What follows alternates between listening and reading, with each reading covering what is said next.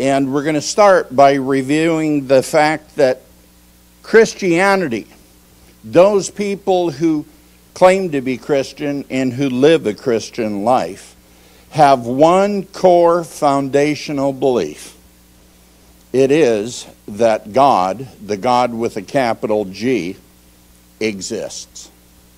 That He is. He's also the great I am.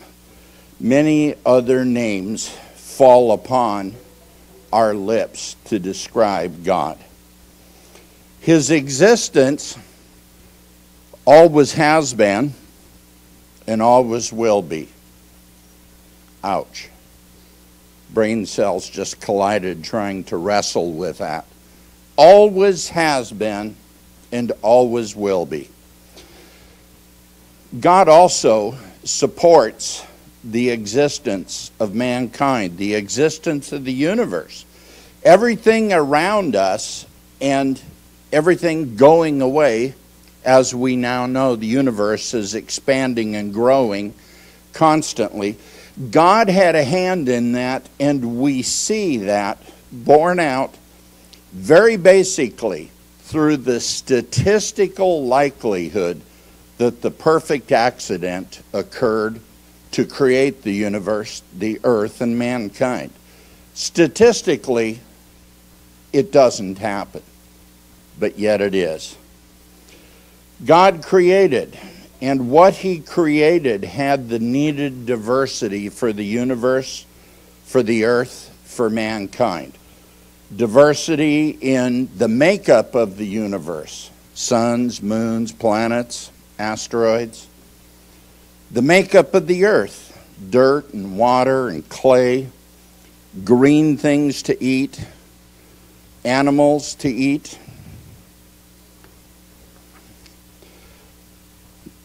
God, in knowing where the creation would go and knowing where He wanted people to arrive in the creation, God structured everything for those people. God structured everything to support his plan.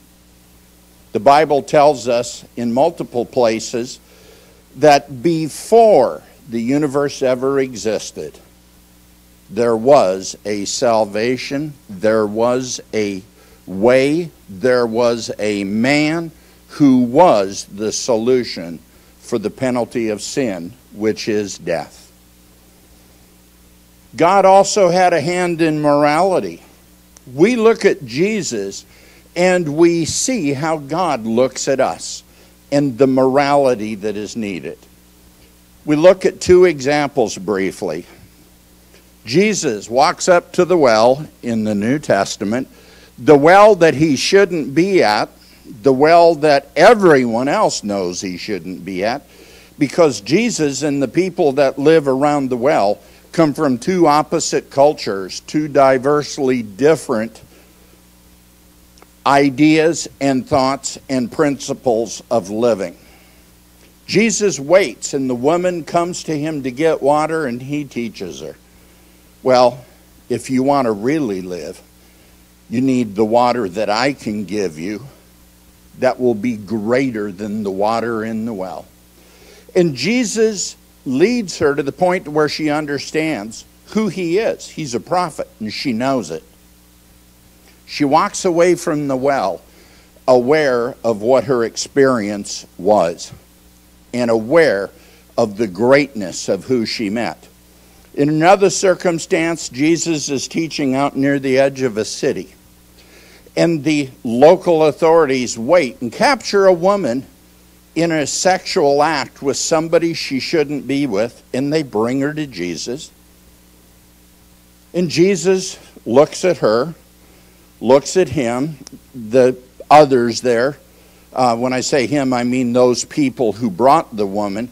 And in looking at them, Jesus basically starts moments that will connect to lead to the point where those accusers who say, she's wrong, here's the penalty, she should be killed.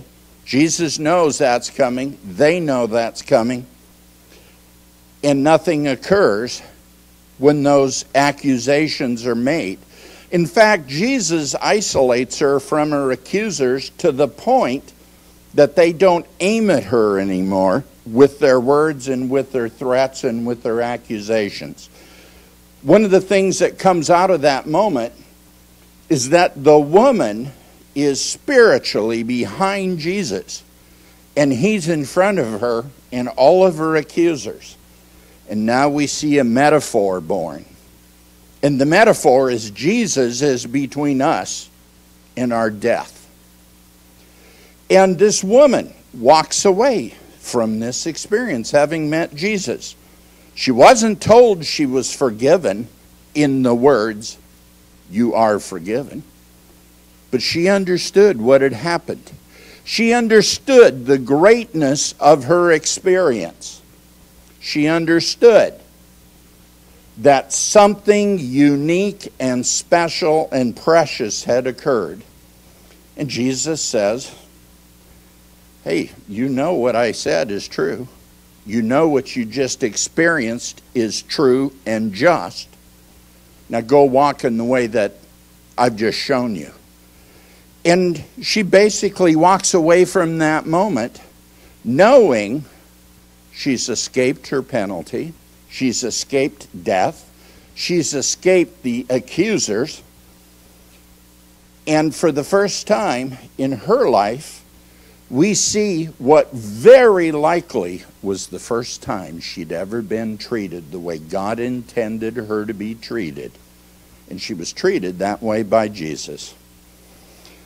God's greatness, His enormous scope of vision for the universe, the expansion of it, people, lives, births all the things that come into that, the greatness of the creation we live in.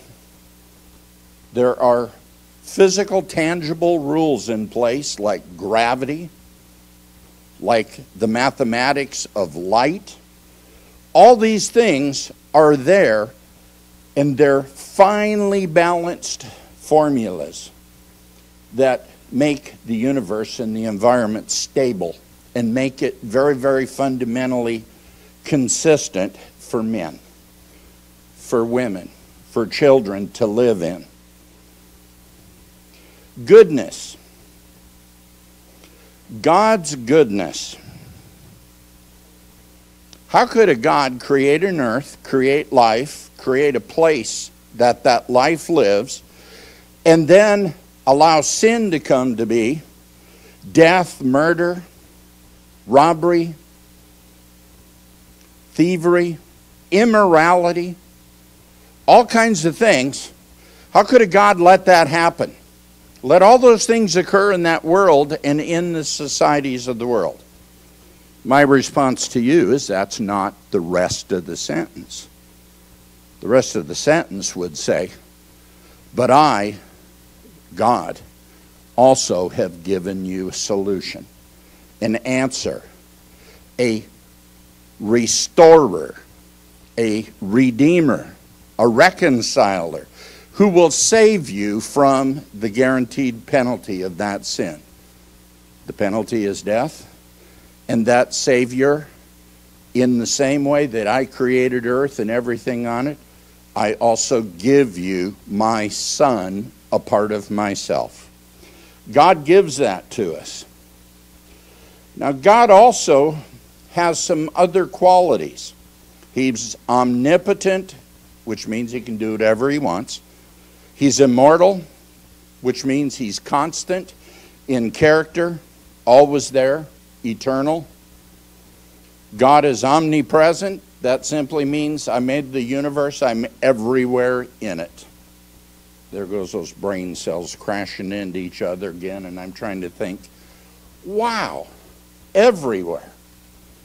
Recently, in the last six months, scientists in Europe, in the Hadron Collider, where they are discovering new particles, found a particle that comes out of nowhere and goes to nowhere. And they have seen it in more than one place at once. It's documented mathematically. Hundreds of pages of math to explain the theory, but yet this particle can be called into presence and then it goes off transiently. But it's in more than one place at once. God is also omniscient. He knows all. Well, my response to that would be I'm pretty sure He does since He made all. And He is consistent. When we think of the things that we know and that we learn and that we function by in our lives, little kids with parents, grandparents, growing up, going to school, all those things as we come up into uh, adulthood, what we learn, what we learn to be able to function at work, to function with family, to function socially, all those things are there because God wanted them and He put them in place. Now, another thing about God. If you want to know what God is like, you have but only to look at Jesus because Jesus is exactly like God. We don't say Jesus is here and God's just like him theologically or doctrinally because that's not accurate. But it is accurate in a visual suggestion of what God is like. Why would God send a part of himself to man to deal with sin? and not have it be, not have that person be like him. Think for just a minute. The Ten Commandments, if they were all obeyed, upheld, observed, functioned, and were fulfilled in everyone's life, we'd have a world exactly like the world Jesus told people about where Jesus said, Love God with all your mind and heart and body and soul, and uh, love God, love other people. Very simply, the result could be the same between having the Ten Commandments fulfilled and doing what Jesus said to love God and love fellow man. So, Jesus is the personification of God in character, in morals, in kindness and love and cherishing life. We see times where Jesus had great emotional responses. There's the one verse that says simply, Jesus wept. There's an emotional response to Lazarus in his experience at his death that Jesus has. And Jesus has an emotional response when he's on the cross. A lot of people don't know it, but the cross and his crucifixion isn't just putting a man on a piece of wood and watching him die. He actually took a lot of time and sang traditional prayers of his countrymen, his people, the people of his lineage. And he sang those prayers, which were customary they were rituals to be upheld. And in singing those prayers, the way he did, when he did, it was a not loudly yelled, but kind of a whispered plea for the people to still be loved and be cared for by their God. So God gives us a lot. He gives us a lot in the form of our living environment and in the form of our future through Jesus Christ. Now, one of the uh, big things that comes into being for me personally is wrestling with sin. Man, I've been trying to not do that for a whole year and a half, and I find myself doing it. Well, Paul addressed that when he said, I find it it's a law. That I will not to do, that I do, and that I will not to do is exactly what I do do. But in that, we're not lost, we're not thrown away, we're not cast down. We're still a part of the family of God, His children. The church is His bride. Jesus is our brother. He's also the husband. All these metaphors point at family relational living. Now, I'm here to tell you a couple of things. Just because you might have mistakes, you might slip up, you might screw up really bad. Because God put a solution in place and had the wisdom and understanding to put Jesus Christ in place and put the Holy Spirit in place, we're not lost because we fail. God's not a works based, performance based, success based, obedience based God. We only have to look at the life of King David to see how that played out. Here's David making all these mistakes. Some of them went way beyond mistakes and way beyond screwing up. Some of them were just absolutely royal, pathetic human acts. And yet, his heart never turned away from his God. His words seldom departed from accepting God and understanding who he is and why he is. David set a milestone and an example for us. Now, when we compare ourselves to the universe, we have to ask where do we fit into everything? The everything that we call our life, that we call our existence, is based upon interaction. We live in a world that we have to talk to people. If we don't, it can create problems or deprive us of things.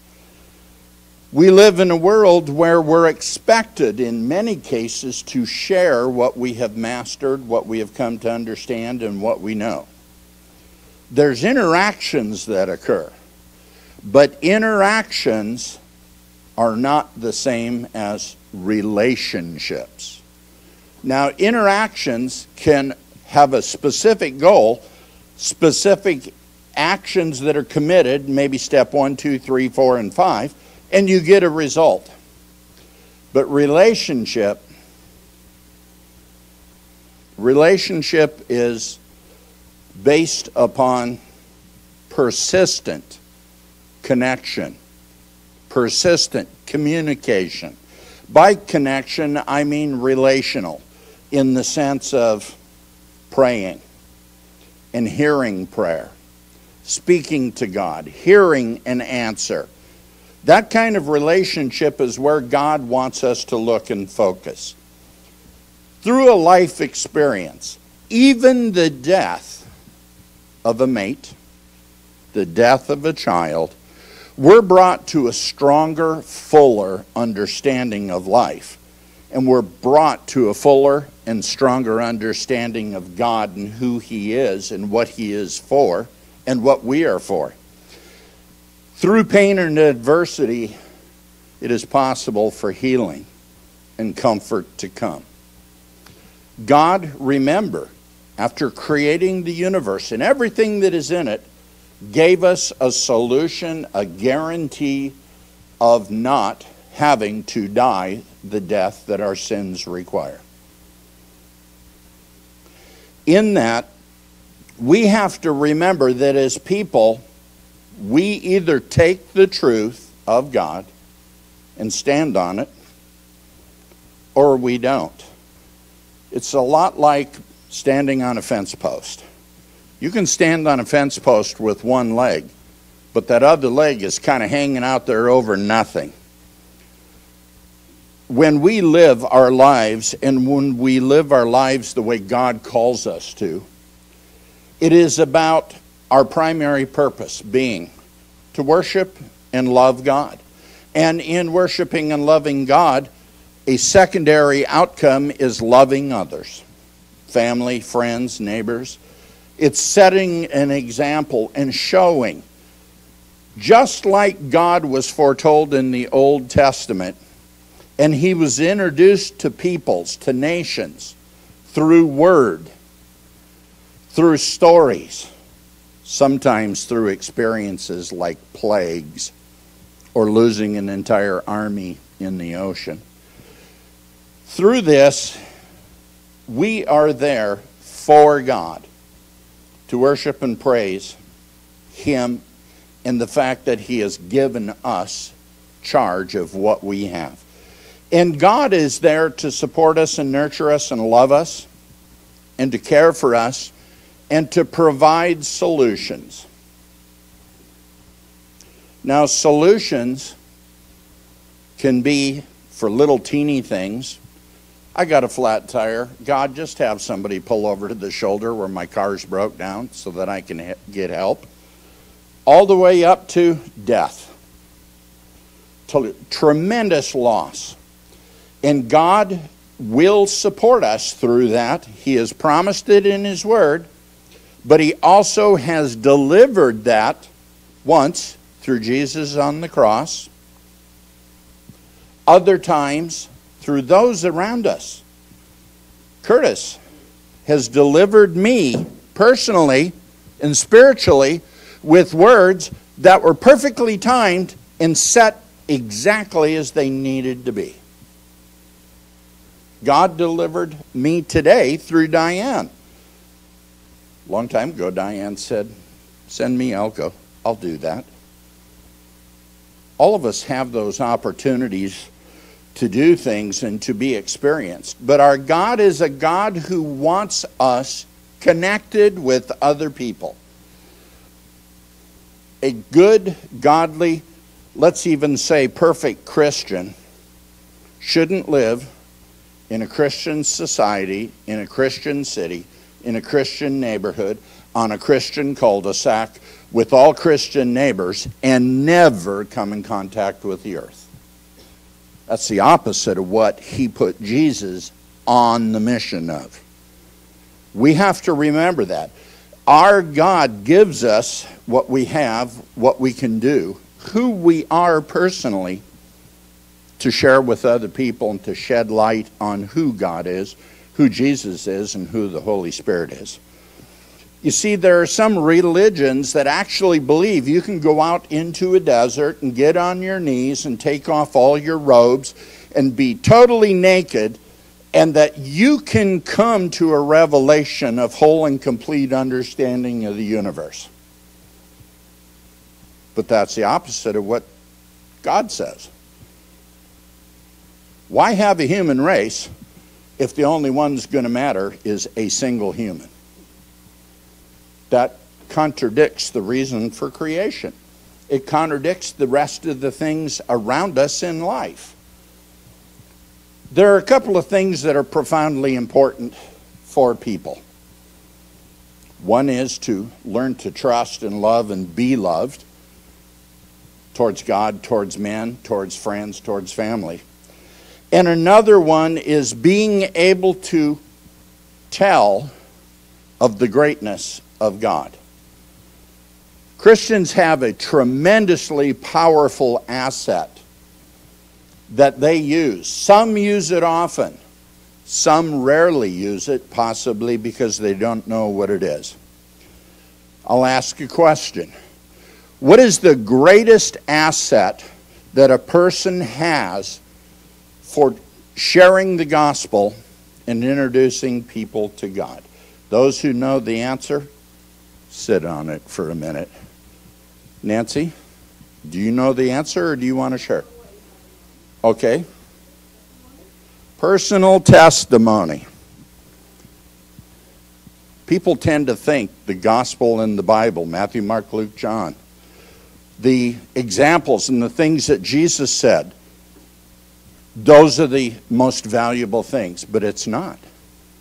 What is valuable is your story because when you go tell your story of what Jesus did in intervening and stopping a problem and making this happen and all these things occur, your telling that story makes it personal and creates a relationship question that can answer to the question well, how'd that happen? Well, why did it happen to you? When we're born and we're put on the earth, the vision that God has is that that baby is desired and sought after, and that it is desired and sought after by its parents and its grandparents and those others given charge of it to raise it into a whole and complete person and to teach it, nurture it. Heaven forbid something would happen that would cost that child its life.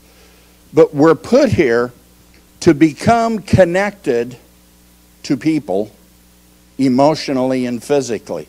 The emotional part is sharing each other's burdens. It is praying with and for each other. Sometimes it's sitting and watching a ball game with each other. Sometimes it's sitting at a table and eating. And sometimes it's coming to the hospital when the worst phone call comes and you go to support a brother or a sister or both. But it's about relationship. Now, again, I want to restate positively here. I want to make sure this is understood. God didn't create the universe, create the earth, and create us just because. He created us for each other and for Him. And He created the presence of the Holy Ghost and of Jesus for us to do what He envisioned us doing, to love Him and we receive that love back. And when it runs its track, the love that God envisions and intends for mankind comes through friends, comes through neighbors, it comes through family, it comes through people you don't know and you just meet, it comes from people who move in across the street. It comes from people that you've never seen before, you see once and they're gone. They go on with the rest of their life. But of everything I've said, take this to heart. There is not a single sin that God has not dealt with, does not deal with, that falls on the shoulder of Jesus Christ that his death didn't pay for. Every sin that ever was or will be created by mankind can be covered by the death of Jesus. The Bible says it. The manuscripts that are not in the published Bible, the uncanonized writings of people, say it. And the reality is that when you look at people's lives and you look at the internal makeup of who they are as people, you tend to find God's blessing. People that are really on track with God, people that are living and are experiencing and able to share the way God envisioned. They're people who move from luck and time and chance and just the frivolity of of things happening without a purpose, they move away from that and they move to the fact that there are signs and wonders from God. It can be as simple as going through a line at a local drive through and you get to the window and you realize, oh, wow, that's a huge ice cream cone. I hope I can eat it all. And the girl comes and says, Oh, don't worry, your bill's been paid. The car in front of you paid for you. Now, what do you do with that? Hopefully, you would think of paying it forward. Because we don't know what God's doing in the car in front or the car behind us, but we do know God is there, He is present, He is around. People only have to ask, and He avails Himself in their lives he avails themselves in ways tends to happen on the deathbed in the last hours of living. People recall the structure and they recall the experiences and they suddenly realize Wow. That wasn't time and chance or luck. That was a sign from God that he was there. Now, I'm not telling you that that's the only way to believe. I'm also not telling you that that is the only truth, what we've talked about. But what I'm telling you is that if you honor loving God, worshiping God, loving Jesus by doing what he asks, by joining him in his mission with mankind, and by hearing the Holy Spirit and submitting yourself to it, if you do that, you're on track. You see, it comes down to a point where the abnormal can demonstrate the greatness that God has. I met a young man years ago with Down syndrome who, after two years of attending church with his mom and dad up in Seattle, went to the pastor and asked to be baptized. And when the pastor said, Okay, I'd be happy to do that, but what brought you here to ask? This young man said simply, Jesus cared enough to die for me. Well, I want to get in the water and die for him. Now, think of that metaphor. This young man, very severely limited mentally, who stood there in front of a pastor had an answer that made sense more than many of us. When we look at those around us, the Holy Spirit puts signs in front of us and shows us these little wonders. Don't ignore them. Don't ignore them. If you need to have a question answered, come ask. If you need to unload, come ask. If you need to be loaded up and filled, come ask. If you don't understand, come ask. That's what we're here for. We, the church, are here to proclaim God, proclaim Jesus, and proclaim the Holy Spirit and the greatness that God had when He put that solution in place. That solution is Jesus who gave the Comforter and the tool to guide us, we call the Holy Spirit. How do we respond to that? We respond to that by taking our personal story and sharing it with people. We respond to that by telling them about the great things that God has done. And then we go introduce them to the person that it happened to. We respond by pointing people back to promises. You know, we go from the Old Testament, Old Covenant, the law of Moses, to the New Covenant in the New Testament. We'll call it the law of love. They both seek the same completion point. They both seek love. They both seek obedience one has the consequence removed if you walk in the Spirit and join Jesus in his mission and let him come live in you. That's how simple it is. We do not believe here that there is a sin great enough to rob you of eternal life. All sin was paid for by Jesus' death.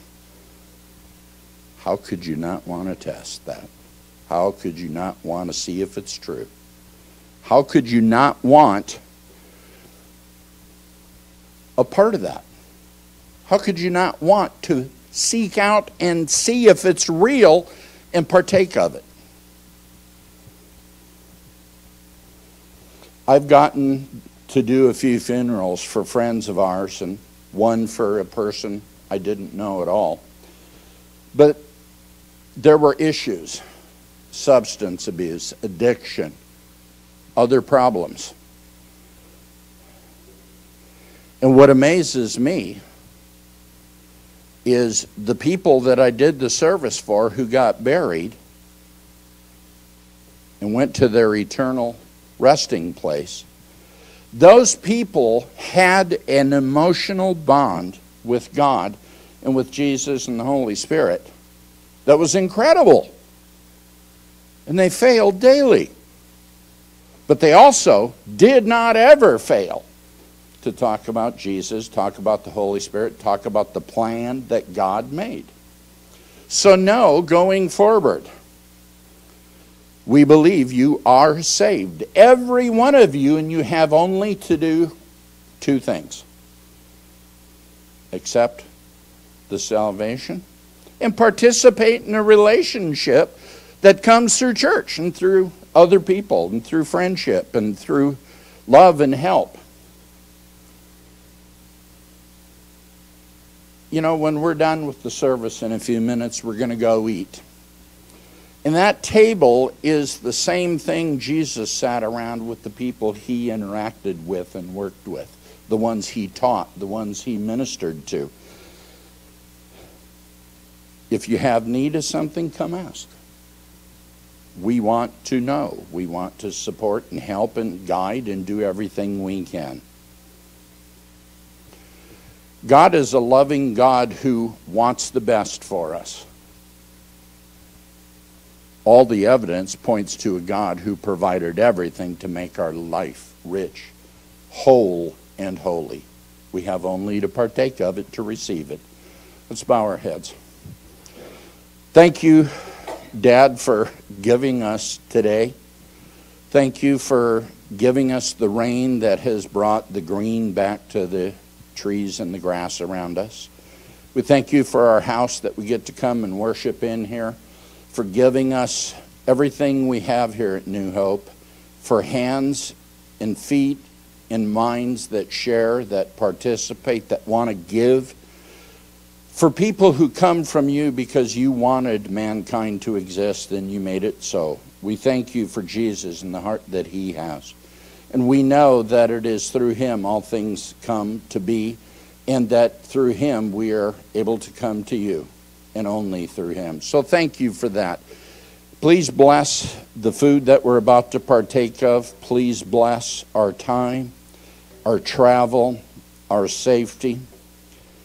And please bless our minds and hearts to know that we can go to each other and we can share things, and that through wisdom and doing things appropriately, we can have uh, guidance and friendship and caring to support us through the darkest days and the brightest days of our lives as well. We thank you for that in Jesus' name. Amen.